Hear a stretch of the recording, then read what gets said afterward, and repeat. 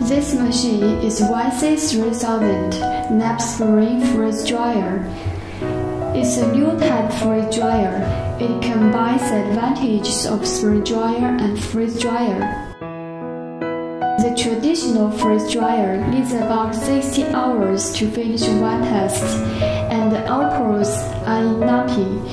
If you want to get powder, you need to crush it the YC3000 spray freeze dryer can overcome these problems. It will take about 3 to 8 hours to finish one test, and outputs are fine powder.